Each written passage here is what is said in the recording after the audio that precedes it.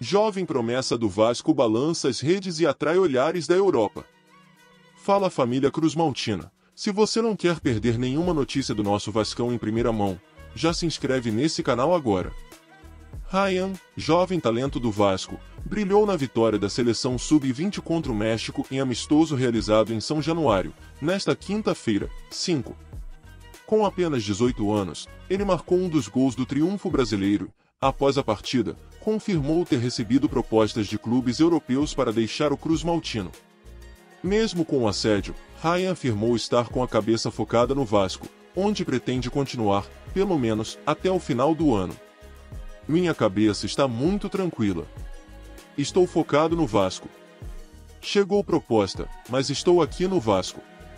Vou continuar até o final do ano e, se Deus quiser, vai dar tudo certo, disse o atacante, demonstrando confiança e comprometimento com o clube. Com uma multa rescisória superior a 400 milhões de reais, Ryan é um dos maiores ativos do time carioca. O gol marcado com a camisa da seleção foi especialmente emocionante para o jovem, que cresceu nas categorias de base do Vasco e conhece bem São Januário. Sou cria da Barreira, de São Januário, e foi um momento muito gratificante. Minha família e meus amigos estavam aqui, acompanhando o jogo. Só tenho que agradecer a Deus por isso, celebrou.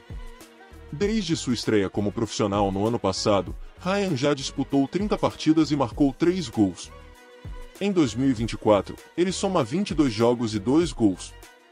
Assista esse vídeo que está aparecendo em sua tela e fique atualizado com as últimas notícias do nosso gigante da colina.